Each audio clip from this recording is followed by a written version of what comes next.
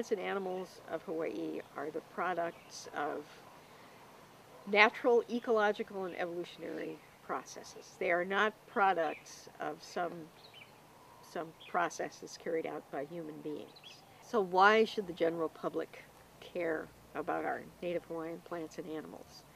Because they're unique and because they're beautiful. Go outside and do stuff. Learn about the plants and animals and uh, spend time just sitting around watching them or, or visiting them. I have had my greatest times outside, even if it's pouring rain and freezing cold. Anyway, I got to do a lot of really great things. Go to places where other people haven't been um, and seen things that other people haven't seen. If more people could see them, and I'm all for having people see them outside in the flesh instead of, you know, in a picture or in a video. When people ask me what I do, if, if I think they'll understand the term, I don't say I'm a biologist, I say I'm a naturalist. And naturalists have been out of fashion for many, many decades. But no, I really do love birds. They're, they're wonderful things, but I like bugs and plants and snails too.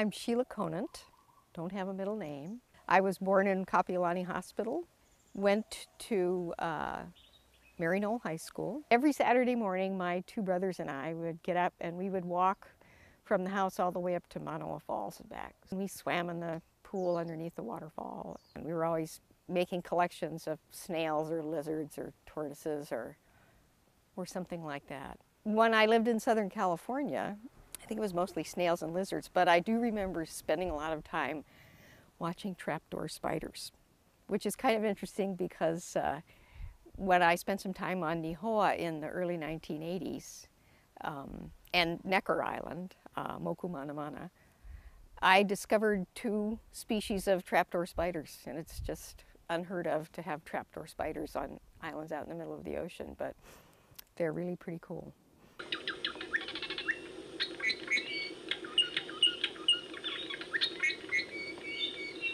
When I think of things that I remember from my childhood, it's always something outdoors.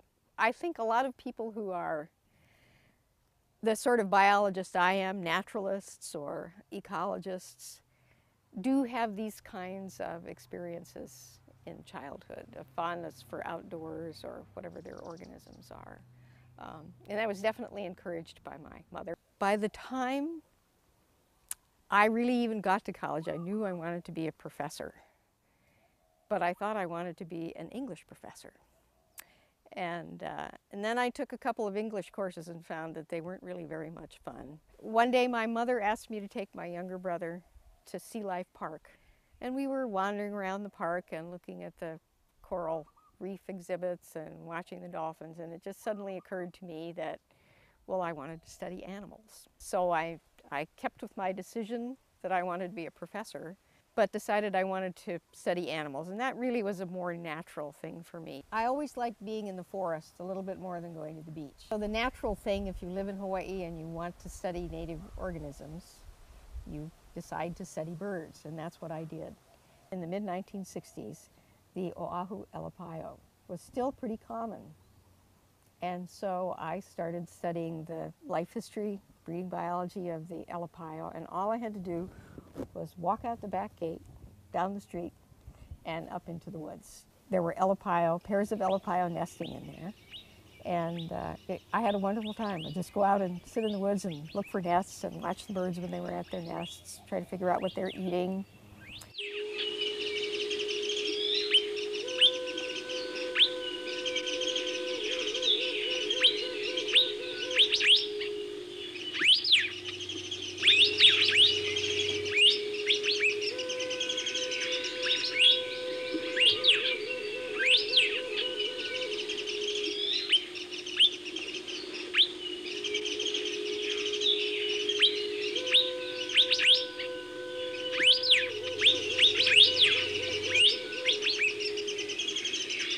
I couldn't help developing an interest in Hawaiian feather artifacts. In 1977, there was an anthropologist at the Bishop Museum, Adrienne Kaeppler, who assembled a fantastic exhibit that she called Artificial Curiosities. This exhibit had objects in it that had been collected on the first voyages of Europeans in the Pacific. And the fascinating thing about the featherwork in that exhibit was that these objects were collected at a time when there was little or no influence of continental cultures on the material culture. It became clear that the nature of the artifacts really changed considerably uh, as continental people came to Hawaii and uh, made their homes here. And some of the interesting differences were uh, that the diversity of feathers that was used in pre-contact artifacts was much greater than what we saw for at least uh, an initial period of time. So pre-contact artifacts had uh, chicken feathers, feathers from uh, Iwa, the great frigate bird, especially the uh, feathers on the back of the neck of the male during the breeding season. Beautiful iridescent blue, green, black feathers. Uh, tropic birds, uh, flank feathers, the long uh, tail feathers, and there were some other other species of seabirds for which feathers were used. And then there is always the debate about, well, did the uh, feather collectors catch a bird, pull the feathers and release the bird, or did they catch the birds and kill them and eat them? Well, we'll never know the the perfect answer to that, or we'll never be able to quantify that. But I think probably that both things happened because David Malo writes about the different birds and how they tasted. This one tastes good and, and this one doesn't. I certainly have never thought that the production of Hawaiian feather artifacts took a toll on Hawaiian birds or caused bird extinctions. Certainly not in pre-contact times, because there were so many artifacts that had chicken feathers and tropic bird feathers in them. Uh, and even in post-contact times, when suddenly the, the Europeans thought, oh, these, these capes and these cloaks are beautiful, uh, and the Hawaiians are got very generous people, so they made bigger and even more beautiful cloaks and and uh, gave them away. Uh, the cloaks required far more feathers, so they had to catch a lot more birds. Perhaps if they used firearms, they they might have done some damage. Uh, but I don't think that collecting feathers for artifacts caused the extinction of, of any of our bird species that are gone. I think that avian diseases and the, the transformation of habitats. If you don't have anywhere to live, you're not going to flourish.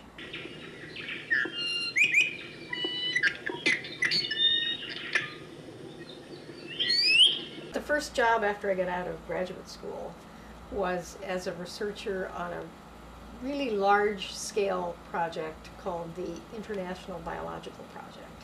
This was a project uh, that involved researchers working on different types of ecosystems all over the world. My job was to um, assess bird communities in different habitats on the Big Island. So I did that over a period of about a year and a half in all these different environments.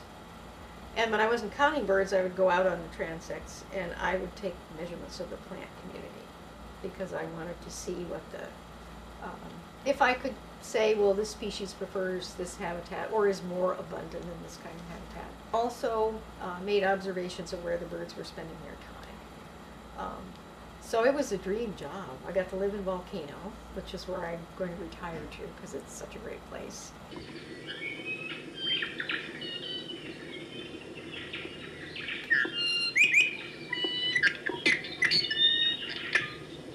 I think the thing that sticks out most in my mind is this wonderful trip that I took in 1975.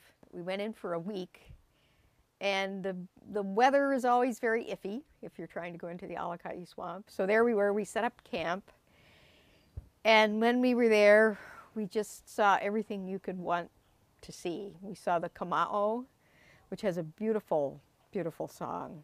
It seemed as though there were kama'o or o'u on top of every dead ohia snag in the swamp.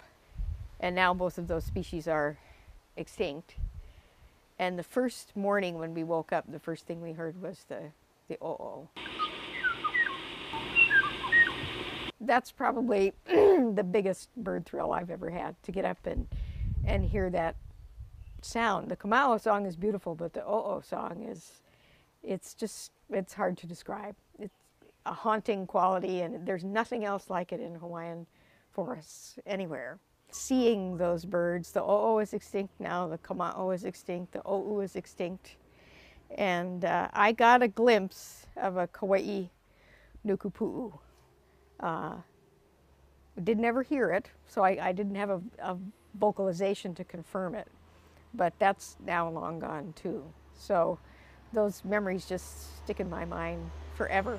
And in the time that I've been studying Hawaiian birds since the mid 1960s, six or seven species of birds that I saw alive are gone now. It makes me feel, well, very sad. And sometimes it makes me feel very discouraged and as though I want to give up, but I can't, I just can't bring myself to give up to have seen that, I mean, I couldn't be sad that I saw it, even though I'm sad that the birds are gone. Uh, so I just feel very privileged to have gotten to see that. And then there are good things too. Just a few weeks ago, uh, another bird that I studied, the Nihoa miller bird, was translocated to the island of Laysan. And although they've only been there for a month, there's a pair of birds building a nest. So I'm thrilled about that. So even when you want to give up, if you just wait a while, you get some good news.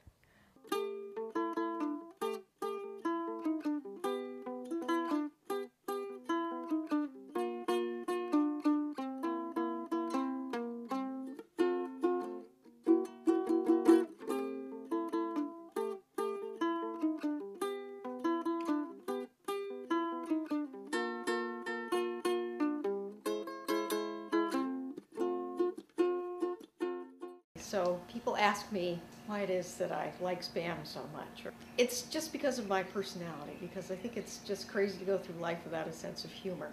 Years ago, a friend of mine sent me a postcard, and the title of it was Four Ways to Make Spam Even More Delicious. Spam in a glass of milk. Hmm? Spam as a topping for your, for your ice cream spam with your breakfast cereal. And my very favorite, spam in a jello mold. I think it's one of those things that she made a joke of once that just sort of snowballed and then she started calling her lab Science Policy and Management, which is the acronym for SPAM.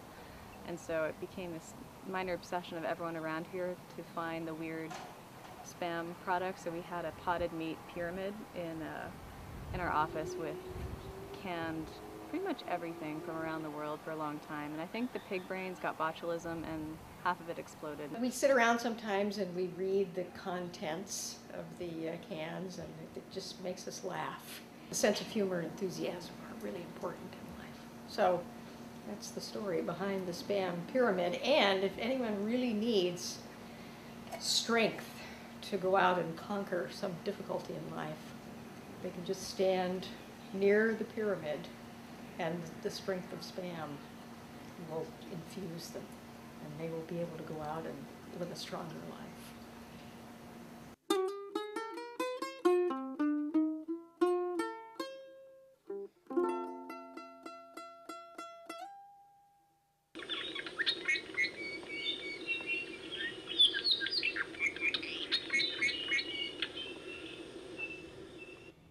Our most pervasive problems are due to species that we have introduced either intentionally or unintentionally. Feral goats, feral pigs, feral sheep, mouflon sheep, axis deer, feral cattle, all of these things have been terribly destructive to Hawaiian forests.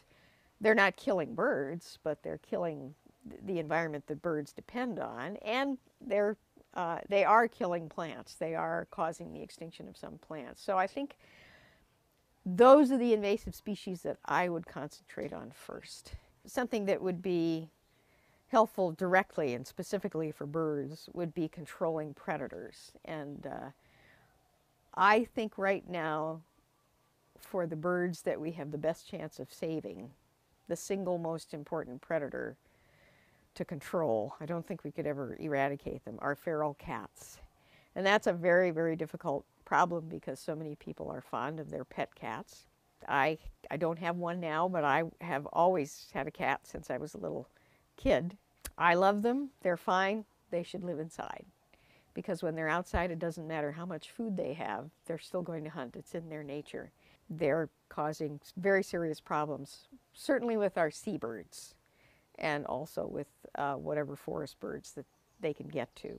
And then rats, that's another species that you can't really ever hope to eradicate, but it is possible to control them with um, rodenticides. If we could figure out when the birds are most vulnerable and then put our effort into controlling rats at that point in time, we might be able to reduce some of that predation. One thing that we could do is make regulatory changes that prohibit the introduction of new species of plants.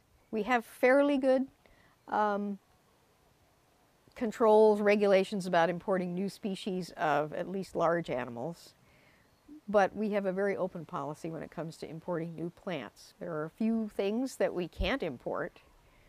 Uh, we have a list of things that we're not going to import, but the way we should be thinking is um, we should have, instead of having a list of things that we should not import, we should have a list, and it should be very short, um, of those things that we can import. And, and they need to be things that are not going to become invasive.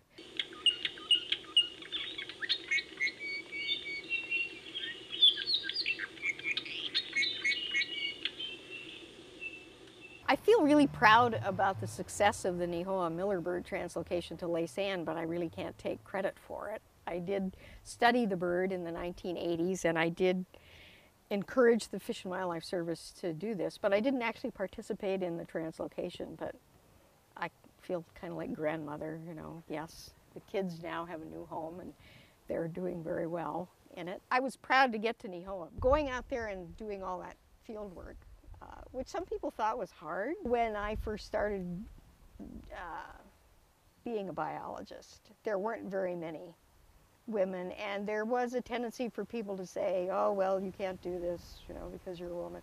But I just never accepted that. Sheila's very calm and very mellow, and I think part of her effectiveness with people is that she's very small and unassuming, but she does have a powerful personality and is able to kind of use that to her advantage to to get things done in a nice, gentle manner. Sheila's one of those, the really straight arrow, good guys that tries to do things the right way. She has attracted a rather stellar crowd of graduate students, and, and um, she was given the Distinguished Service Award, not given to her just because she's, quote, retiring or any of the rest of it, but to recognize that she has had a long and continuing distinguished career. You know, nowadays, biology is just full of women. There's the graduate program in the zoology department for the last few years has had more than 50% women. I think women make really good biologists, but I think they make exceptionally good conservation biologists. They're not as confrontational. And so much of conservation problems, natural resource management, when there are problems, they're problems that have to do with people when you're trying to save a species on the brink of extinction, you don't have that much time.